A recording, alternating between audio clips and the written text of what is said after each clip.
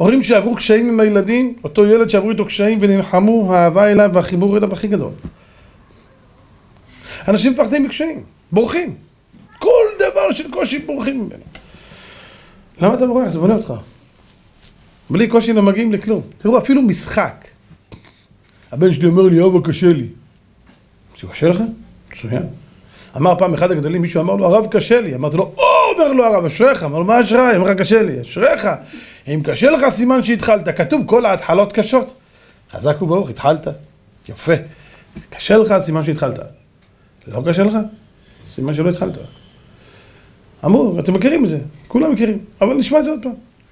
החיים שלנו, או התשובה של האדם, או העבודה שלו דומה לאופניים. כשאתה מרגיש קשה, זה מה שאתה בעלייה. אתה מרגיש, אתה בירידה, אח שלי. קל, ירידה. קשה, עלייה. אתה רוצה לעלות? תלחץ. דוושות, אח שלי. ללחוץ, לא לוותר. לעלות למעלה. מי שרוצה להצליח צריך לדעת שהחיים הם מלחמה. מהיום שנולדת עד שאתה מת, זה מלחמה. לא יעזור לאף אחד שום דבר. החיים הם מלחמה. מי שירים את הראש וילחם ויהיה לבן חיל, ילחם, יצליח. מי שייכנע, ייפול. אז למה אתה נכנע? אמרתי לו, לבן שלו אמר לי, אבא קשה לי, אמרתי לו, אתה אוהב לשחק, נכון?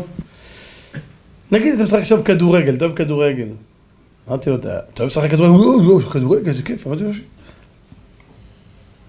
מה אתה מעדיף שאני אביא לך? אני אביא לך אחד שלא יודע לשחק, כיף, תנצח אותו ב-A0. אמר לי, מה זה שווה? אני לא יודע לשחק, משעמם, אני אבעט לבד לשער וזהו. הוא לא יודע. אמרתי לו, אז מה אתה משמח? שמישהו יודע לשחק, אמרתי, מה אתה יודע לשחק? הוא לא נותן לך להפגיע גול, זאת אומרת שהוא עושה לך קשה. ואת זה אתה אוהב. הבנת?